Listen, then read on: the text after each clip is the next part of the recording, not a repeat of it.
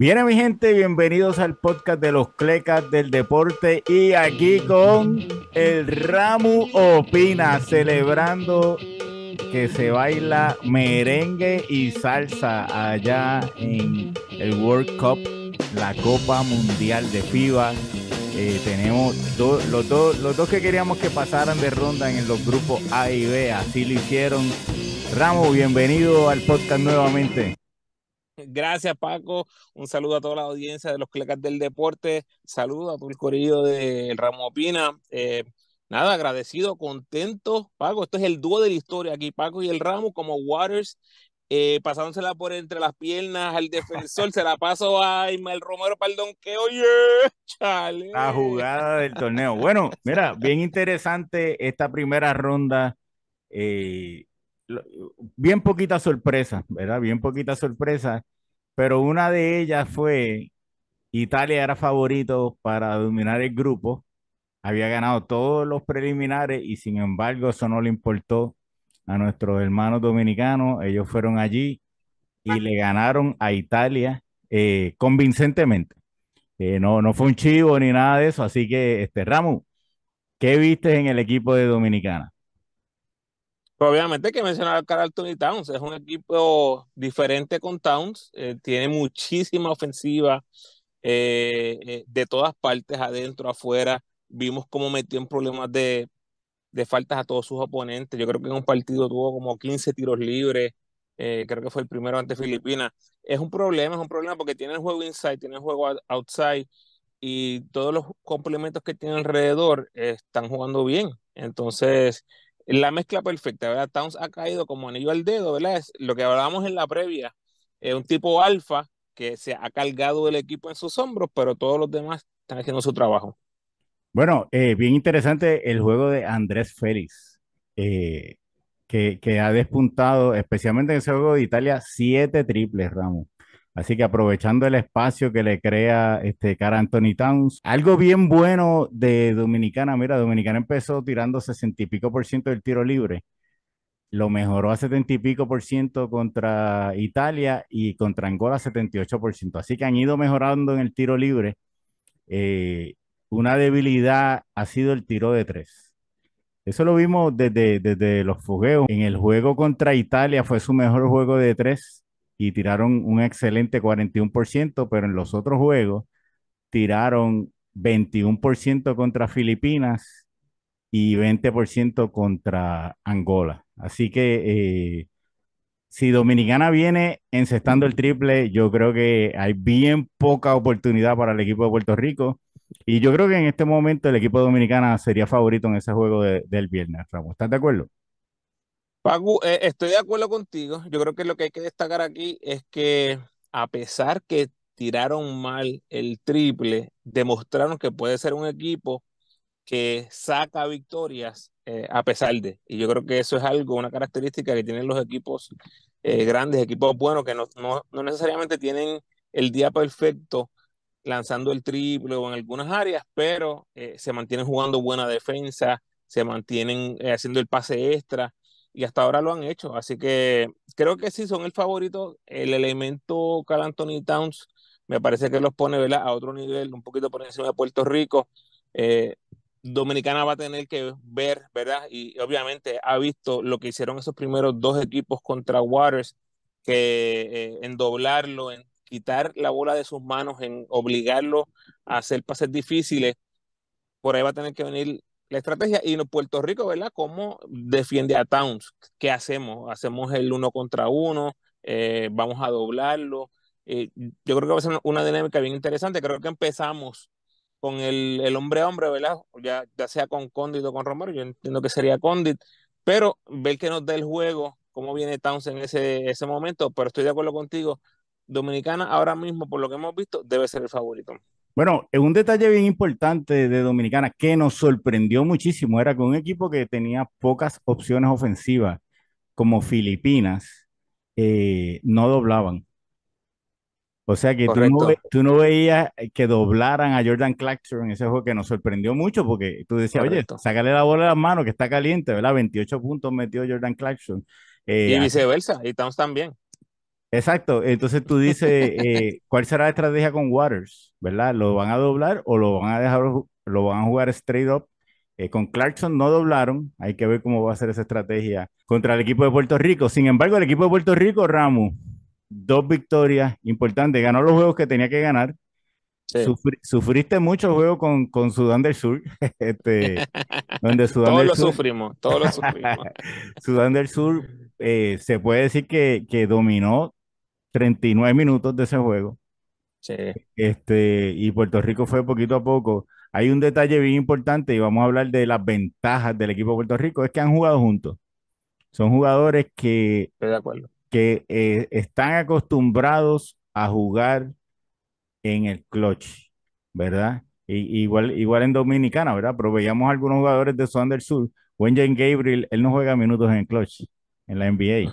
Es un jugador NBA, pero no juega esos minutos, ¿verdad? Así que Correcto. esa experiencia se notó en el equipo de Puerto Rico, todos esos jugadores. Romero ha jugado 10.000 finales, este, así que eh, tienen esa experiencia y se notó. Y, y yo creo que en, en- si el juego es cerrado, va a ser bien interesante a quién, a quién le va a atacar los nervios, ¿verdad? quién va a ejecutar como, como debe. Este, y, y entonces eh, es una ventaja de que tiene Puerto Rico, la cohesión de, de sus jugadores eh, una desventaja, Ramo, bien grande del equipo de Puerto Rico son los tiros libres. Tiraron 60 y pico por ciento contra Sudán del Sur, 60 y pico por ciento contra China, eh, en un volumen bastante alto, así que la cantidad de tiros libres fallados eh, está alto. El, el- el juego con Serbia solamente tuvieron nueve tiros libres, así que no, no, no lo estoy contando, así que este, realmente, realmente los tiros libres eh, es, es interesante porque una fortaleza del equipo de Puerto Rico es como han tirado el triple. Claro, Hoy, hoy claro. tiraron, hoy tiraron, Ramos, eh, 47 creo que fue. 47% de tres, eso no es sostenible, ¿verdad?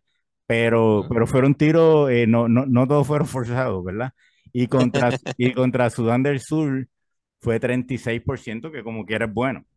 Así que han tenido buenos resultados de tres, que entonces si tenemos tiradores, ¿por qué en el tiro libre es, tan malo? Si, si vamos al juego de Sudán del Sur, Stephen Thompson tiró de 5-2 del tiro libre. En el, en el día de hoy, este, vemos a John Holland tirando de 3-1. Eh, así que es como, es como interesante que esos porcientos estén tan bajitos y, y cada punto cuenta en esta próxima ronda, Ramos. Mira, lo de los tiros libres no es sorpresa, porque en los fogueos eh, vimos eso. Y el factor principal o los factores principales para que eso fuera así es que nuestros jugadores con mayor intento de tiros libres fueron Condit y Romero. Y ellos los dos los conocemos como jugadores que no encestan ese tiro libre con consistencia. Lo de Thompson, de 40%, no es sostenible. Holland, 33%, no es sostenible. Ortiz, tú pensarías que va a mejorar. Pero con Romero y Condi sabemos lo que tenemos. Y eso yo no, creo que vaya a cambiar eh, de aquí a los próximos dos, tres días que vamos a tener este juego. Es una desventaja que tenemos, eso es cierto. ¿Qué fue lo otro que vimos que tú haces mención? Hemos tirado el triple en estos primeros tres partidos, 41% de efectividad. ¿Por qué hay que notarlo? Hay que notarlo porque cuando vimos los fogueos, nosotros tiramos 28% en los fogueos. 28%. ¿Es sostenible? Para este equipo no lo es, porque sabíamos, o por lo menos la data nos dice, que estos últimos años, estos jugadores son de 35% para arriba, son, son buenos lanzadores, no son, no son tan excelentes, pero no son 25%, ¿sí, ¿sí me entiendes? Entonces, Sí, sí. sabíamos, sabíamos que el triple iba a mejorar, pero Paco, estamos tirando absurdo. Mira, te voy a decir algo por aquí anotado porque realmente es impresionante. Tienes a Steven Thompson tirando 53%.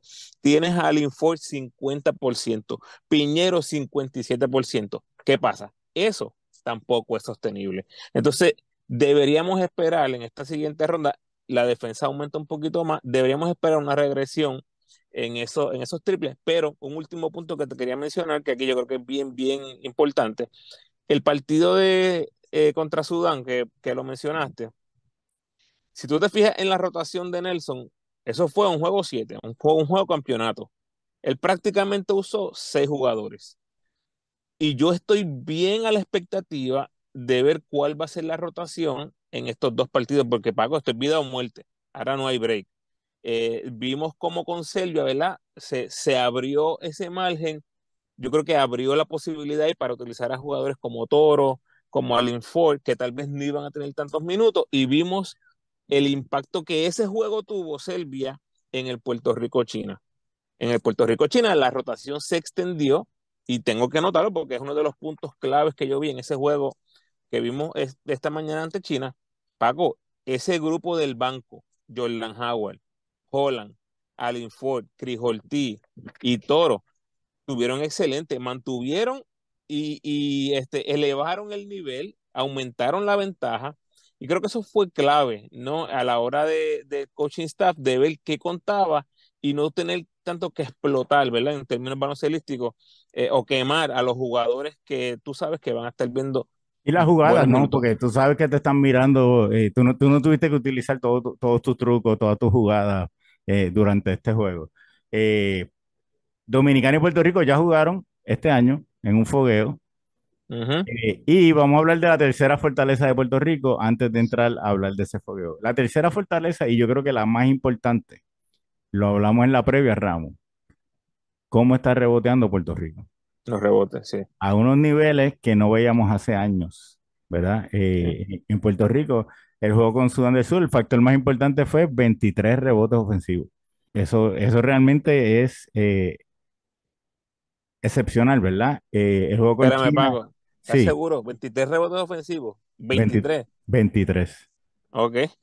esa, no me, no me acuerdo. Bueno, seis, rebotes nada más tuvo Stephen Thompson. Sí, y seis Romero y seis Conde, sí es cierto. 18 entre ellos, tres nada más. 23 rebotes ofensivos. Eso, ese número te, te, te, parece increíble, pero así fue. Eh, Fíjate que eso, eso, eso dice mucho de Sudán, ¿verdad? El gamble que ellos tenían en defensa, eh, un poco desorganizada esa defensa, y tuvimos muchas oportunidades. Pero aquí voy. Contra Dominicana tuvimos muchos rebotes ofensivos también en el fogueo. O sea que es, es un patrón. Ahora, eh, ¿qué cambia, verdad? Contra China tuvimos 13 rebotes ofensivos. O sea que el equipo de Puerto Rico es un equipo que hay que boxearlo porque te puede hacer daño en las tablas. Muchas segundas oportunidades. Hay un, hay un pequeño factor que va a cambiar el que Puerto Rico dominó a Dominicana en los rebotes que fue uno de los factores más grandes para ganar ese fogueo, ¿verdad? En ese fogueo no estaba Carl Anthony Towns. Y eso te cambia todo en cuanto a los Claro, claro. Así que este no, podemos usarlo, Paco. Incluso yo te iba a decir que nos enfrentamos recientemente en el Americop y le ganamos, sí, pero Dominicana tuvo un pari abajo del palo con nosotros y nosotros teníamos a Condi y teníamos a Romero. O sea que el, equipo no ha cambiado tantísimo. Así que yo creo que va a ser bien, bien interesante eh, ver eh, cuál es ese impacto que trae Towns. Sabemos que ofensivamente el impacto está ahí, pero en defensa, ¿qué impacto va a tener Towns con lo que es la ofensiva de Romero y de Condi cerca del canasto? No, y los rebotes, o sea que, que realmente cambia una de las fortalezas de Puerto Rico tal vez un empate o tal vez este, un push, ¿verdad? Como le dicen los americanos, un empate eh, en, esa área. Así que eh, es bien interesante, es bien interesante este juego porque toda la confianza del mundo la tiene Dominicana en este momento. El momentum, el, cómo se sienten ellos, el, cómo se están acoplando. El equipo de Puerto Rico tuvo un juego con Serbia que terminó bien, eh, pero empezó desastroso, ¿verdad? Y esa es una de las claves. Los dos primeros juegos empezaron desastrosos y vimos cómo Nelson ya está ajustando su, su cuadro inicial, ¿verdad? Así que eso, eso va a ser bien importante. Ese arranque, ese primer quarter nos va a decir mucho de cómo va a ser el resto del juego. Eh, los otros dos equipos en el, grupo son Italia y Serbia. Dominicana se enfrentará a Serbia, Puerto Rico se enfrentará a Italia y el diferencial de puntos entra en juego, ¿verdad? Tenemos que ver eh, si hay un triple empate, que hay, hay mil maneras en que haya un triple empate. Así que el, el, primer juego de Dominicana contra Puerto Rico, aún si, si, si ve que Puerto Rico está ganando, Dominicana tiene que jugar cada minuto porque eh, el diferencial de puntos le favorece en este momento y, tienen que estar pendientes de eso. Es así, es así con los cuatro equipos. No es así solamente con Puerto Rico y con, eh, y con Dominicana. Este, Italia también va a estar viendo ese número, eh, va a estar Serbia también, porque tú no sabes si Serbia pierde alguno de, de, esos partidos. Todo el mundo va a estar pendiente. Estos son juegos de playoff, Corillo. Son juegos de playoff. Debido a que cargamos con ese menos 17 ante Serbia, cualquier triple empate eh, con, con Serbia vamos a estar en desventaja, porque tú no esperarías que el resultado en esta fase que vamos a jugar ahora sean marcadores tan abiertos. Estamos hablando ya de los mejores 16 del mundo. Aquí, este, ¿verdad? Se hizo un filtro bastante claro, pienso yo, eh, de los 32 equipos y a excepción de Francia, eh, que era uno de los grandes equipos al inicio del torneo, todos los demás están ahí. Este, aquí no hay enemigo pequeño.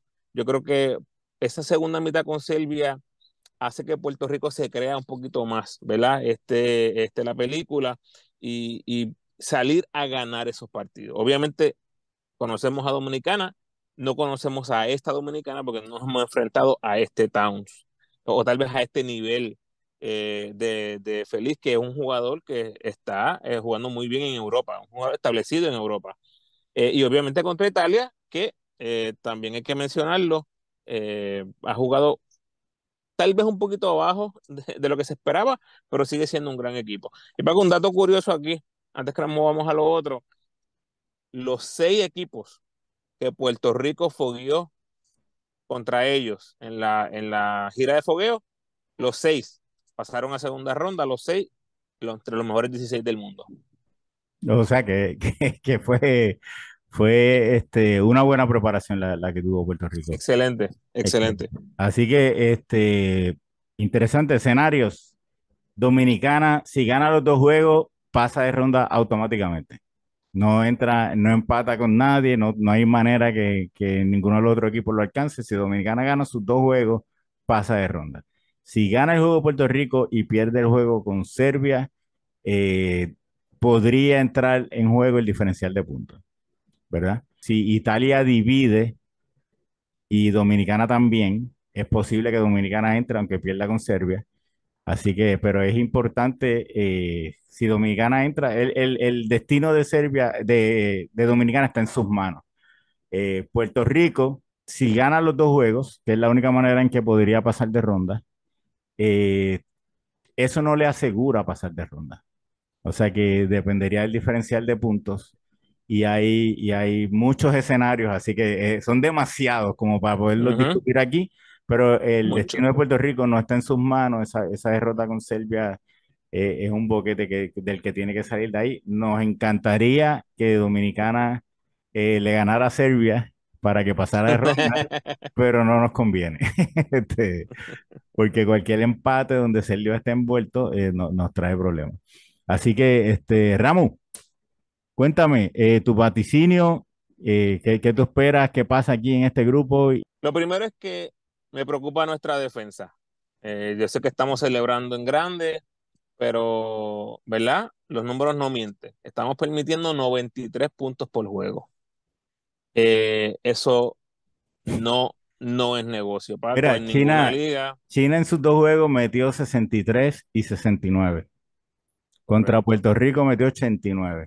O sea que 20 puntos ah. más que contra Ahí es donde, ahí es donde está mi preocupación. No hemos demostrado ser un equipo elite en defensa. En ofensiva sí, vimos, eh, eh, bueno, y tal vez tengo que hacer ahí un asterisco con los rebotes, pero eh, en, un momento dado, China estaba anotando demasiado de fácil, demasiado de fácil, los canastos abiertos de tres, este, en la penetración, y tú veías el equipo de China que no tiene, o sea, el I-test no, no lo pasan y como quiera encontraban la manera de anotarnos con relativa facilidad, especialmente ¿verdad? lo que fuese tercer Los, los tres juegos, los tres juegos, para, para ser justos, ¿verdad? Los tres juegos, eh, los otros equipos eh, no, no se veían incómodos en, su ofensiva. Claro. Y si, y si tú estudias los juegos cada uno, y esto yo hago esa invitación a todo el mundo, es, es preocupante ver algunos momentos claves de los partidos, unos lapsos que tú dices, ¿cómo es posible que, esto suceda. Y por darte un ejemplo nada más, ¿verdad? Estamos ganando por tres ante Sudán del Sur. Eh, viene Jones con la bola, el grande le hace el pick, eh, queda el, el gal completamente abierto y Condit, ¿verdad? Nosotros estamos ganando por tres puntos. Lo que tú tienes que hacer es eh, contest el tiro de tres. Pégatele lo más posible, que te deje pegado y entras a hacer una huira. Condit defiende hacia atrás, se mueve hacia atrás, dándole el tiro completamente abierto al, a Jones, que estaba en ese juego este, en fuego. O sea, errores así que tú pensarías que son cosas básicas, eh, no pueden pasar. No pueden pasar en estos juegos. Yo anticipo un juegazo con Dominicana. Yo anticipo un juegazo con Italia. Puerto Rico lo va a dar todo. También me parece eh, que Puerto Rico va a achicar esa rotación. Vimos ahora 10 jugadores. Yo creo que eh, el, la calma o la paciencia de, Nelson Colón va a estar on check. Cualquier jugador que venga del banco que no produzca, yo creo que va a haber un cambio inmediato, eh, porque esos juegos hay que ganarlos, Paco. No, no hay de otra, son juegos de playoffs, son juegos de, de vida o muerte, ambos. Yo creo, Paco, que tenemos lo suficiente para ganar. Ya, ya hemos demostrado que se puede meter el triple. Eh, si reboteamos así y mejoramos un poquito nuestro nivel defensivo, definitivamente hay chance de tener esas dos victorias. Bueno, Ramos, eh, hay un factor bien importante. Se meterán en falta los hombres grandes de Puerto Rico. Anthony, defender a Carl Anthony Towns, que, que estamos viendo que el Che está usando a Carl Anthony Towns en movimiento.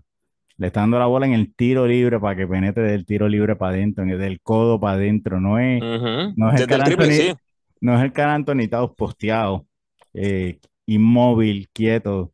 Eh, no, lo tiene en movimiento y eso tiende a meter en foul a, los jugadores del otro equipo. Es lo que vemos de Romero. Romero en muchas ocasiones tiene ese eh, es la bola en ese lugar, en el, en el codo, en el tiro libre, y lo que hace siempre es atacar. La diferencia de Towns es que él tiene el tiro, tiene la para que no, que no tiene el estilo es el mismo, el estilo es el mismo.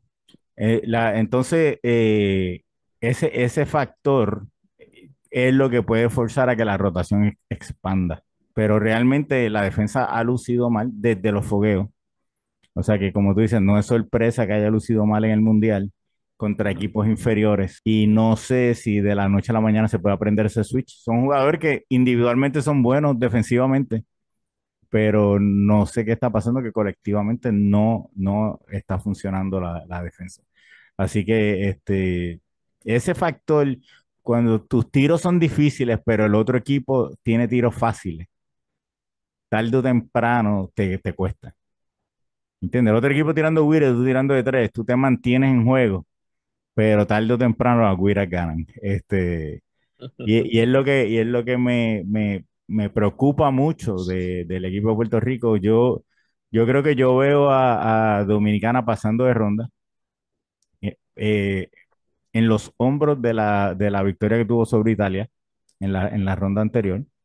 Este, eso significaría que eh, pasaría Dominicana y Serbia y, y eh, con dolor en el alma tengo que ser objetivo aquí y, entiendo que ahora mismo Puerto Rico eh, está cuesta arriba para clasificar. Así que eh, puedo estarme equivocando, pero si hay detalles, si hay estadísticas que puedan reforzar el que, el que Puerto Rico tenga un mejor desempeño, ustedes van a poder ver todo eso en los podcasts del Ramu Opina. Allí, mira, allí tiene estadísticas de todos los juegos, este, tiene estadísticas de cada jugador. Así que la previa del Ramu tiene como 74 mil números. Así que usted puede ir allí y, ponerse al día con, con, lo que, con lo que está pasando en, el Mundial.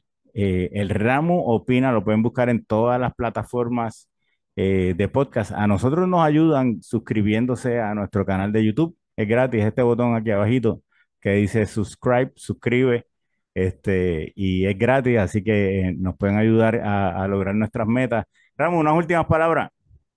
Mira, claro que sí, este, gracias Paco.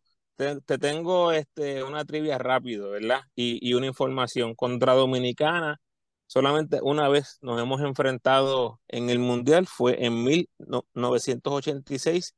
Le ganamos, tres jugadores anotaron sobre 20 puntos. Eh, esa era la trivia, pero en verdad te, la voy a decir porque si espérate, Espérate, déjame mirar los tres jugadores. Los tres jugadores fueron Raymond Dalmau. Ok, no. no, Quijote Morales. Tampoco, tampoco, Mira, uno de ellos, uno de ellos, este, lo mencionamos en los dúos, pero porque no estuvo en nuestro podcast de los dúos. Georgie Torres. Georgie Torres, muy bien. Otro, creo que lo mencionamos como uno de los grandes jugadores que nunca ganaron un campeonato, creo. Jimmy Carter. De los criollos, no. Willy Quiñones.